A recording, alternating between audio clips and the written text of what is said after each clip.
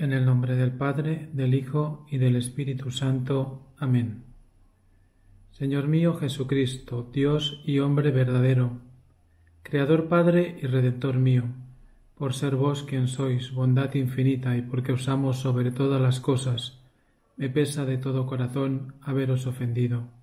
También me pesa porque podéis castigarme con las penas eternas del infierno, ayudado de vuestra divina gracia Propongo firmemente nunca más pecar, confesarme y cumplir la penitencia que me fuera impuesta por el Padre Confesor. Amén.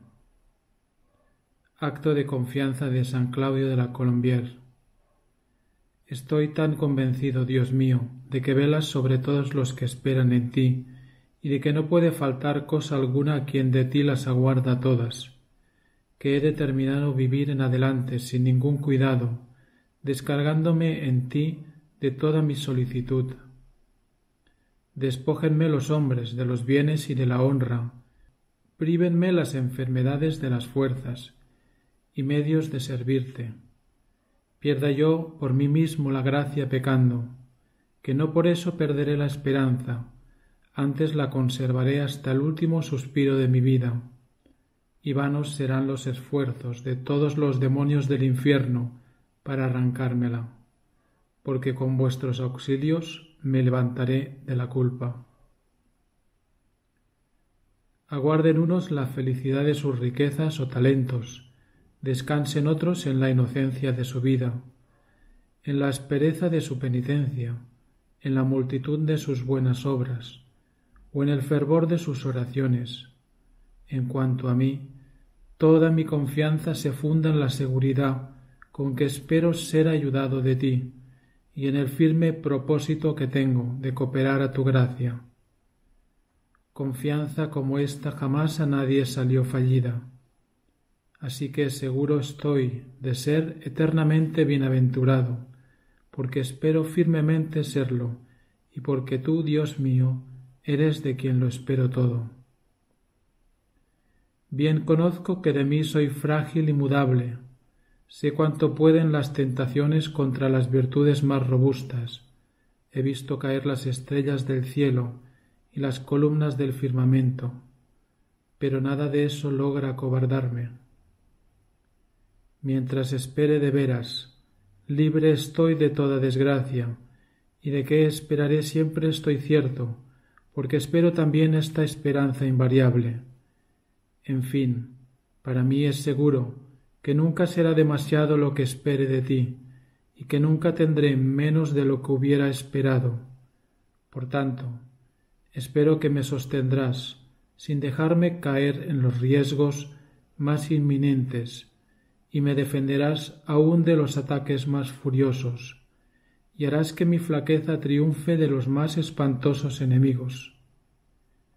Espero que me amarás a mí siempre, siempre, y yo a mi vez te amaré sin intermisión, y para llegar de un solo vuelo con la esperanza hasta donde puede llegarse, te espero a ti mismo, oh Criador mío, para el tiempo y para la eternidad. Amén.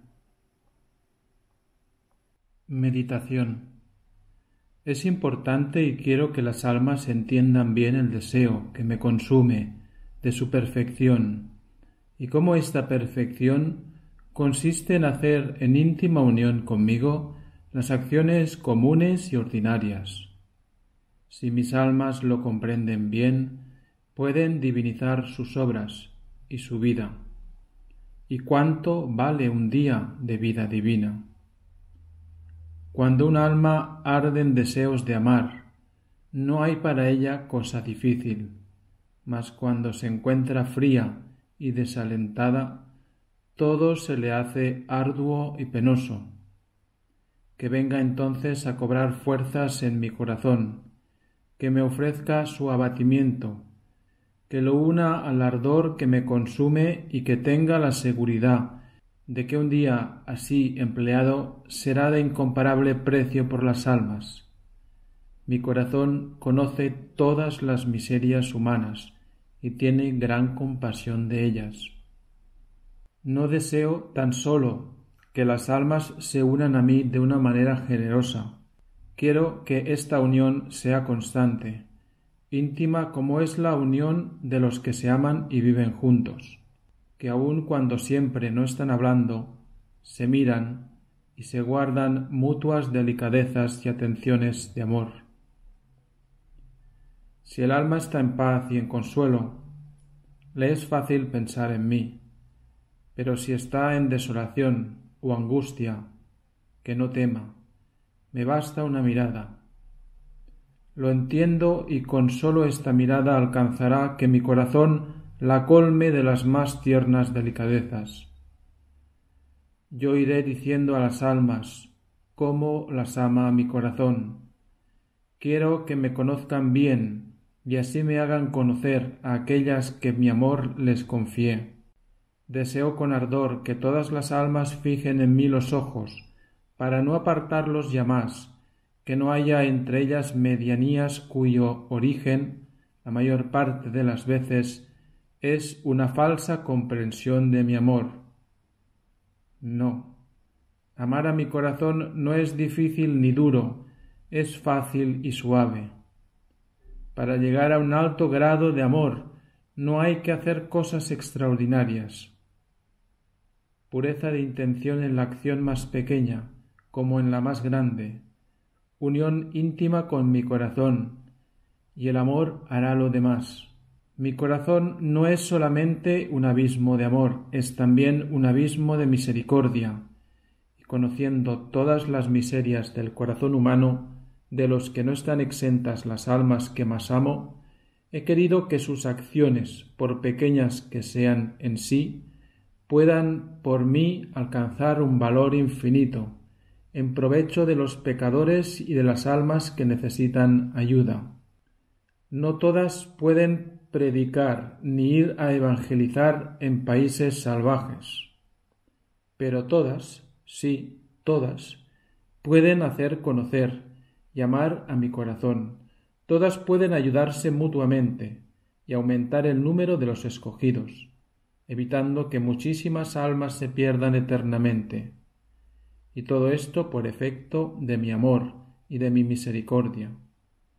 Cuando un alma tiene generosidad bastante para darme gusto en todo lo que le pido, recoge un gran tesoro para sí y para las almas, y aparta a muchos del camino de la perdición. Las almas que mi corazón escoge están encargadas de, distribuir al mundo mis gracias por medio de su amor y de sus sacrificios. Si el mundo está lleno de peligros, cuántas almas arrastradas al mal necesitan de una ayuda constante, ya visible, ya invisible. Ay, lo repito, ¿se dan cuenta mis almas escogidas de cuánto bien se privan y privan a las almas por falta de generosidad? Ofrece tu vida, aunque sea imperfecta, pero que todas entiendan qué misión tan hermosa pueden realizar con sus obras ordinarias, con su trabajo cotidiano. Que sepan a qué grado de intimidad las llamo y cómo quiero que sean celadoras de mi gloria y de mis intereses. Hay muchas que no lo comprenden, hay otras que sí lo comprenden. Mi amor transforma sus menores acciones, dándoles un valor infinito. Pero va todavía más lejos. Mi corazón ama tan tiernamente a las almas que se sirve aún de sus miserias y debilidades, y muchas veces hasta de sus mismas faltas, para la salvación de otras almas. Efectivamente, el alma que se ve llena de miserias no atribuye a sí misma nada de bueno, y sus flaquezas lo obligan a revestirse de cierta humildad, que no tendría si se encontrase menos imperfecta. Así, cuando su trabajo o en su cargo apostólico se siente incapaz y hasta experimenta repugnancia para dirigir a las almas hacia una perfección que ella no tiene, se ve como forzada a anonadarse y si conociéndose a sí misma recurre a mí, me pide perdón de su poco esfuerzo y implora de mi corazón valor y fortaleza, ah, entonces, No sabe esta alma con cuánto amor se fijan en ella mis ojos y cuán fecundos hago sus trabajos. Oh corazón de mi amantísimo Jesús, corazón dignísimo de toda mi adoración y amor. Yo, inflamado en el deseo de compensar y borrar tantas y tan graves injurias cometidas contra vos, y para huir cuanto está de mi parte el vicio de ingrato, os entrego y consagro de todo mi corazón, con todos sus afectos, y a mí mismo con todo cuanto soy eternamente. Protesto que es mi deseo puro y sincero olvidarme de todo desde esta hora y momento de mí mismo y de todas mis cosas, para que quitados todos los impedimentos pueda entrar en vuestro sacrosanto corazón, que con cosa singular misericordia me habéis abierto, y habitar en él vivo y muerto con vuestros fieles siervos. Padre nuestro que estás en el cielo, santificado sea tu nombre, venga a nosotros tu reino hágase tu voluntad en la tierra como en el cielo. Danos hoy nuestro pan de cada día. Perdona nuestras ofensas como también nosotros perdonamos a los que nos ofenden. No nos dejes caer en la tentación y líbranos del mal. Amén. Dios te salve María, llena eres de gracia, el Señor es contigo. Bendita tú eres entre todas las mujeres y bendito es el fruto de tu vientre Jesús. Santa María, Madre de Dios, ruega por nosotros pecadores, ahora y en la hora de nuestra muerte. Amén. Gloria al Padre, al Hijo y al Espíritu Santo, como era en un principio, ahora y siempre, por los siglos de los siglos. Amén. Sagrado Corazón de Jesús, en vos confío.